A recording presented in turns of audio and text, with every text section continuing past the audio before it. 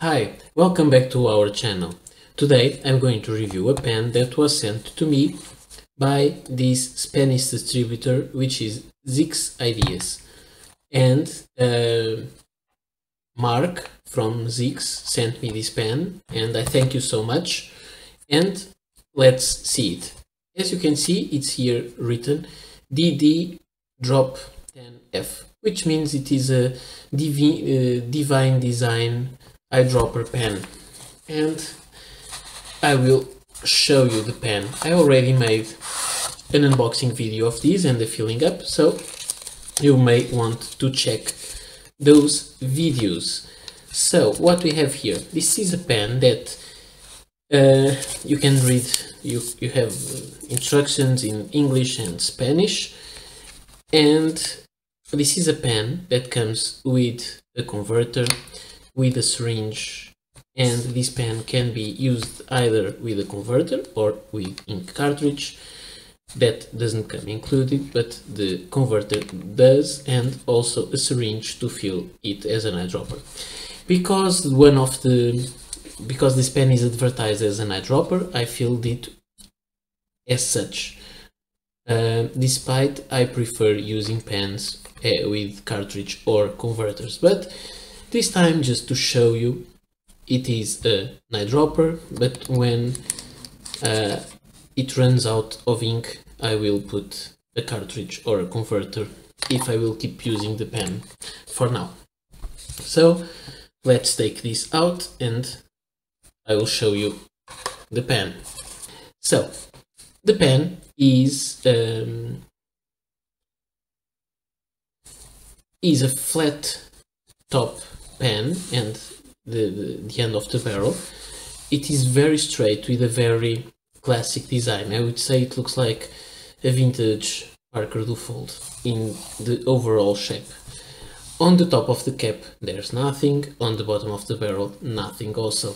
It has a band with nothing engraved and a clip with this drop shaped uh, point. The, there is also a chrome ring here and it says Divine Design, which is the name of the brand. The, it has this marbling, which is quite beautiful on the cap, and also on the, let's call it blind cap. Although it is not a blind cap, this is uh, the same part, it is glued or something like that to the barrel. And the barrel is fully transparent as you can see and the ink the ink is uh, going around back and forth inside. Then we have the section the cap uh, screws into the section. It is a black plastic section and it has a JoWo nib. By the way this pen this is an F nib and this pen uh, is available as these JoWo nibs as extra fine, fine, medium and broad. The cap, when you close it, it offers a little resistance because it has a special closing system that keeps it airtight for the ink not to dry into the cap. And I have this pen Sometimes I use it, sometimes I don't. It has been inked for many weeks. Maybe it was two weeks without being used and it still wrote. I know it's not a lot of time to make this kind of test, but it worked. Um, this pen is made of uh, acrylic. This one has a very nice shading. It is available in black, amber, which is this color, and purple uh, and it costs around 60 euros. As far as I was told by this ZYX distributor, this Divine Design is um, a brand from Germany and it is in business since 2003.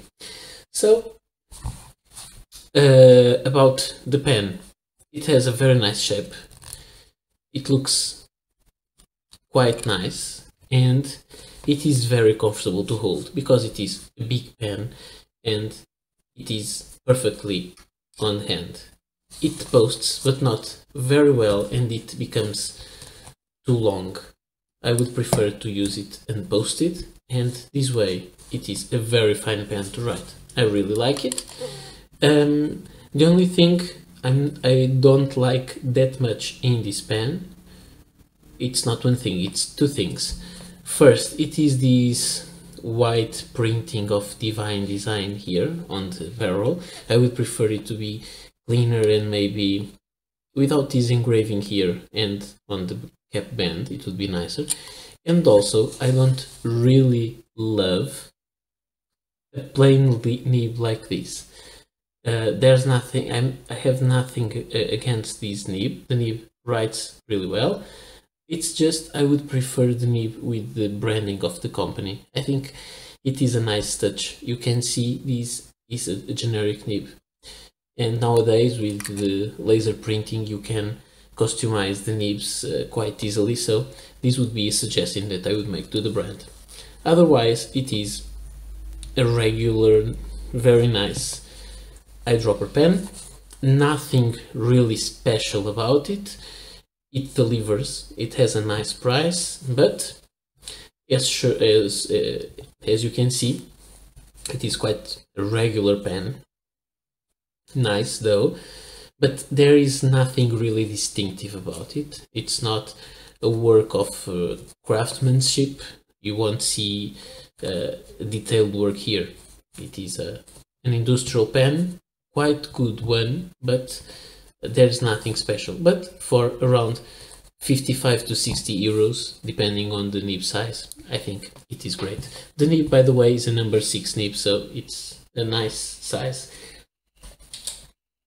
And now let's just compare the size of the pen with two other pens that are very well known to us all and this is the lamy safari the 2009 edition the blue macaron or mac macaron, sorry. Uh, I try to say it in French, macaron, and, and, then I get confused if I should say it in French or in English. And with the Parker Centennial Duofold olive check. And you see it is bigger than the other two. It is longer than the Safari and the Duofold, and it is the same thickness as the Duofold. So a very nice size, but when you look, you can see there is definitely something special about the finishing of these Duofold and nothing special, that special about the finish, finishing of this one. But of course, we're talking about uh, almost 500 euros pen against the 55 60 euros pen. So you have to be realistic. This is a very nice pen for what it is.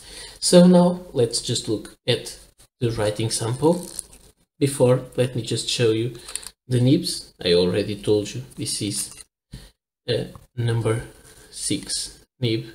So you can see the sizes are very comparable between both.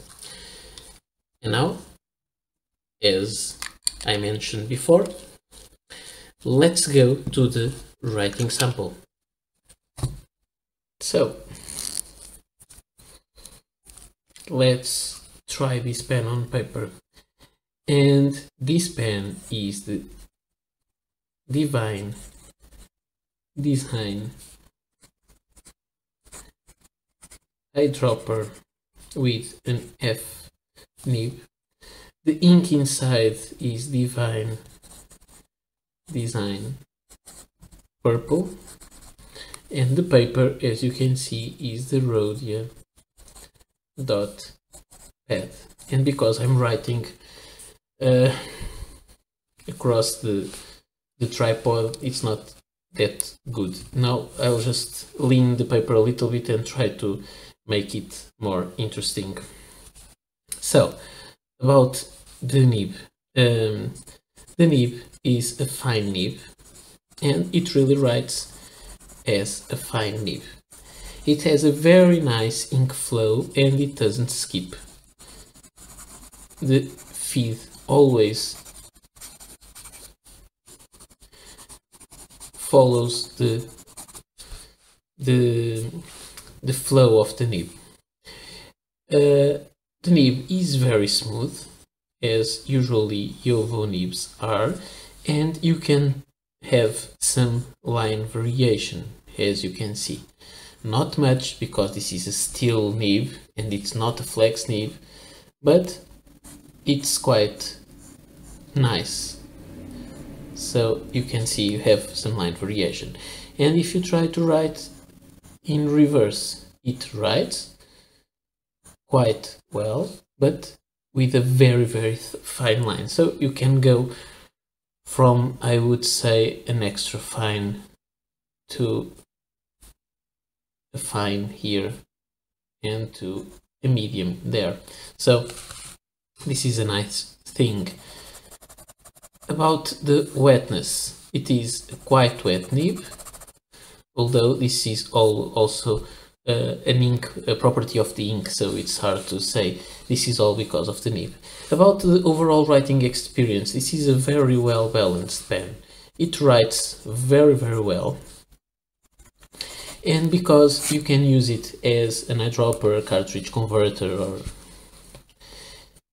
however you want it, um, it is very um, it is it is very useful and adaptable to what you are doing. So if you're writing a long novel for a long time, you can use this as an eyedropper and you'll write forever. Even more because it is a fine nib, so the ink flow is good, but it's not that abundant as it would be if it was abroad. So you can write for a very long time without having to refill the pen. If you are like me, you would prefer cartridge or converters because you prefer to be constantly changing the inks and also changing the pens you are writing with. But this is a very nice pen and it was a brand that was not that well known by me. I already had some contact with the the, Divine Design brand because of ZYX. They are a distributor that already informed me, me about the existence of this of this brand. And I think if you are trying to go for a very affordable pen with a very reliable nib, as JoWo nibs are, I think this is one of the best deals you can get. If you like a converter and this has not been is not leaked and it has a rubber o-ring there and has no silicone grease. So that's a good thing. And this is all. I thank you mark for sending this pen for review. I liked it a lot. Thank you so much and i also thank you all my viewers for watching this video and if you liked it please don't forget to subscribe because it's really important for our channel to grow. This is all for today. See you next time. Bye.